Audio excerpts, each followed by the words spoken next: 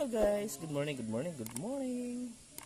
So, sa kalaman po ng lahat, ito po yung tinatawag na praying mantis or yung hayop na madasalin. Kung sabihin mo, kung